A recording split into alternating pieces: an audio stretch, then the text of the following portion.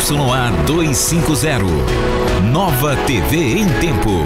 Uma emissora afiliada ao SBT. 15 homens fortemente armados entram em rua do Mutirão, na Zona Leste, e matam duas pessoas da mesma família. O menino de dois anos é baleado, mas sobrevive. Eles foram para matar uma outra pessoa que é parente desse, desse casal que faleceu. Mulher é morta em briga no dia do aniversário de 19 anos. Enteada do amante dela é acusada pelo crime. Amazonas registra dois casos de feminicídio em menos de 24 horas. Mais de 5 mil pessoas conseguem empregos com carteira assinada no mês de junho no Amazonas. A gente ganha todos aqueles benefícios que tem que ganhar, não é uma coisa avulsa, né? É uma coisa que você vai ter o seu direito de ganhar. E no esporte, a intensa procura por ingressos para a grande final do Campeonato Brasileiro Série D no próximo domingo. O Manaus arranca empate histórico em Brusque e busca uma vitória simples que garante o título ao time amazonense. Eu sou Alex Costa e esse é o Jornal em Tempo que já está no ar.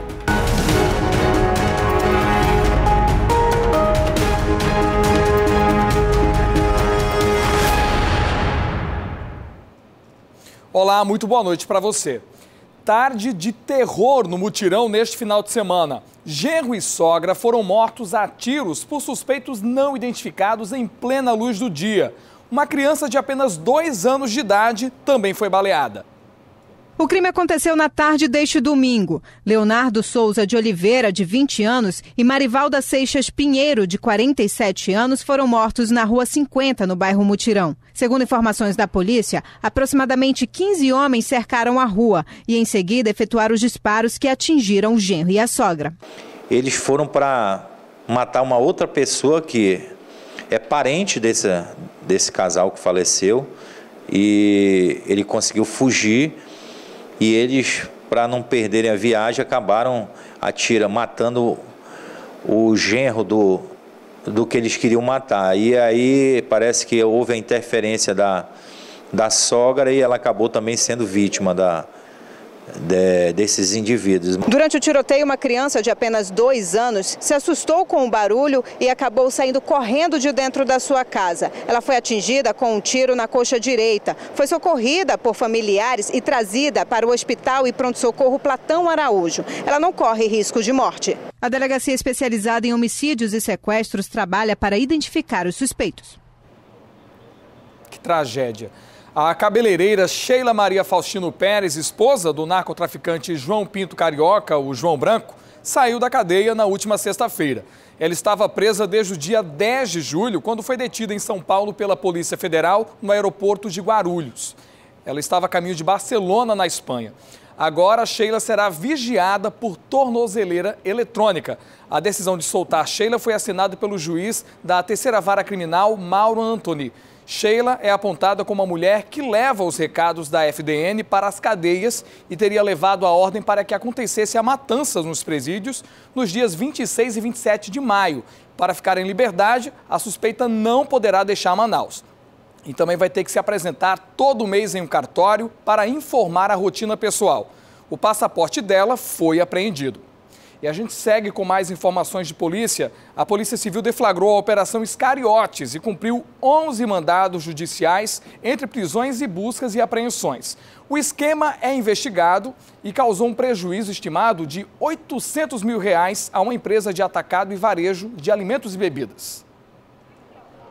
José Paulo Pereira Gonçalves, de 42 anos, era gerente da empresa de atacado e varejos do ramo de alimentos e bebidas da capital. Karina Pereira Ferreira, de 33, era vendedora. Já Márcio Pereira de Souza, de 34, era dono de uma distribuidora. Os três pretendiam lucrar mais de um milhão de reais com desvio criminoso de mercadorias. O esquema funcionava desde o ano passado com a saída de mercadorias em quantidade maior do que constava no pedido de venda. Eles também emitiam notas fiscais contra clientes sem autorização deles para que essas mercadorias fossem liberadas. O prejuízo dessa empresa foi calculado em 800 mil reais. A princípio foi retirada de mercadoria, furto mesmo, e a emissão de notas fiscais frias contra os clientes para gerar ali uma, uma autorização para retirar mais mercadoria. Segundo a polícia, outras pessoas estão envolvidas no esquema e, por isso, as investigações vão prosseguir.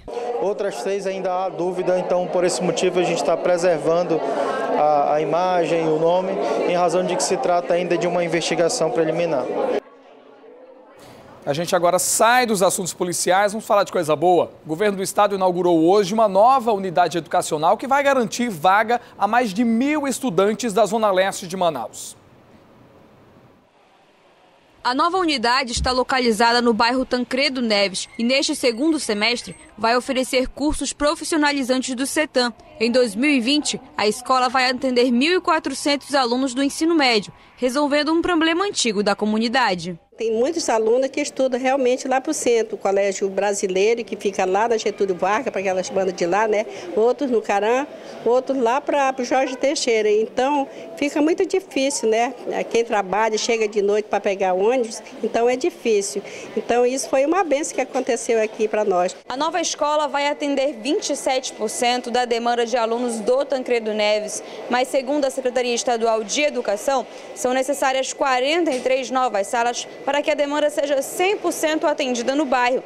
E essas salas serão entregues nos próximos anos. Nós precisamos de novas escolas na Zona Leste, é, precisamos de novas escolas na Zona Norte. E nós temos uma coisa que tem acontecido em algumas capitais do Brasil. Nós temos alunos de áreas mais distantes indo estudar no centro da cidade. E isso é complicado. 114 profissionais serão contratados para trabalhar na nova escola da rede pública.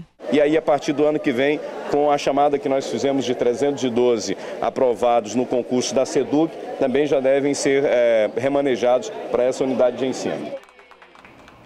E veja a seguir: jovem de 19 anos morre depois de bater a cabeça em uma sarjeta durante uma briga de rua. Agora são 18 horas e 24 minutos e o Jornal em Tempo volta já já.